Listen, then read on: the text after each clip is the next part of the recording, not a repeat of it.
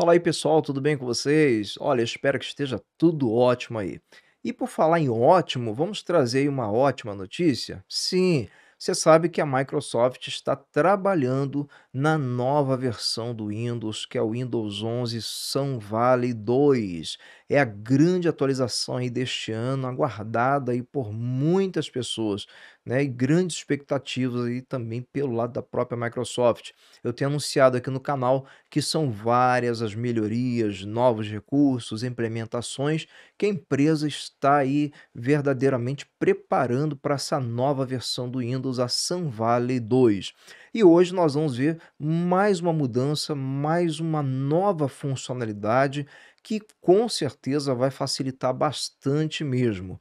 Pessoal, antes da gente entrar na matéria, eu quero falar para você o seguinte: olha, sempre que você tiver uma dúvida sobre qualquer assunto, lembre-se de procurar no- na pesquisa do Google ou do YouTube, BPV mais o tema. Por exemplo, ah, eu tenho dúvida sobre atualização do Windows. Procura lá BPV atualização do Windows, BPV Windows, BPV formatação, enfim. BPV mais tema vai resolver o seu problema.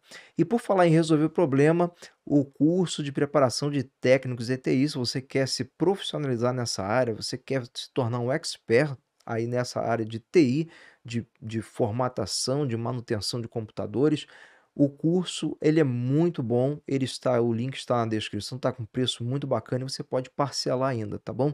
É um curso que eu recomendo, tem certificado, enfim, é uma grande oportunidade para você. Link na descrição. Mas vamos lá, pessoal, vamos então falar aí sobre esse novo recurso, então taca aí na tela.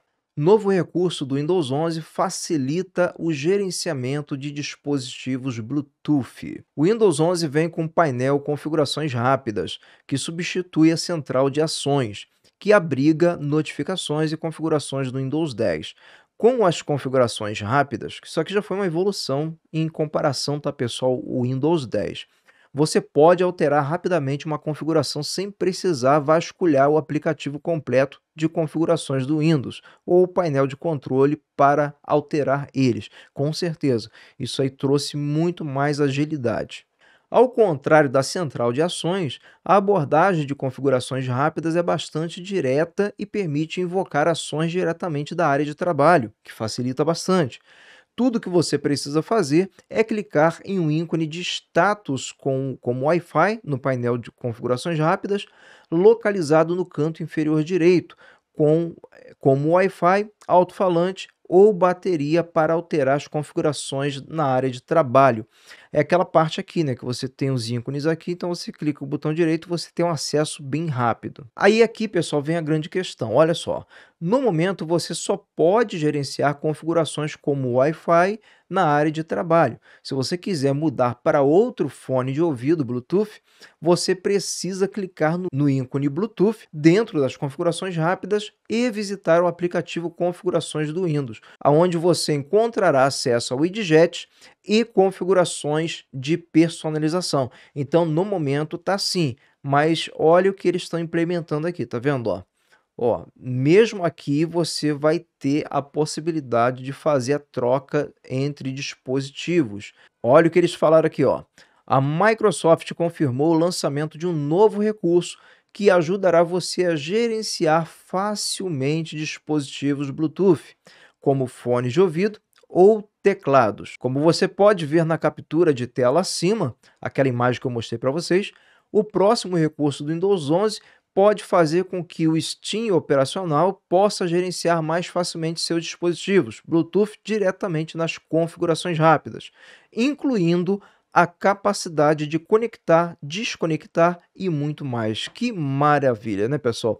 Ao contrário, né? É, como eles terminam dizendo aqui, ó, ao contrário da central de ações do Windows 10, o Windows 11 pode exibir níveis de bateria adicionais para dispositivos compatíveis. Bom, eu como, eu como sempre, eu quero saber a sua opinião, coloca aí nos comentários, mas assim, quero deixar a minha. Eu gostei muito do novo recurso, porque vai facilitar, né? Porque muitas vezes quando você queria trocar de dispositivo, você tinha que entrar lá por dentro, e por que não está ali também essa opção, né? Na, na, na configuração rápida ali, botão direito do mouse, você poder fazer tudo logo.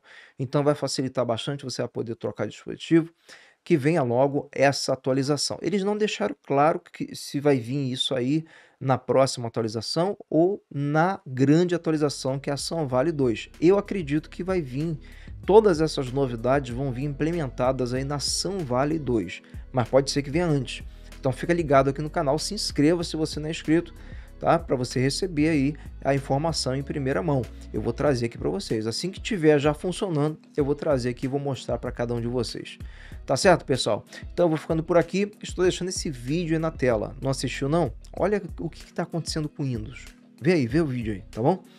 Um grande abraço, fiquem todos com Deus e nos encontramos no próximo vídeo.